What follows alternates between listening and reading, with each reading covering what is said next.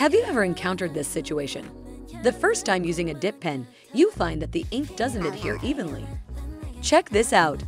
Take a cotton swab and toothpaste. Squeeze toothpaste onto the cotton swab and gently brush the nib.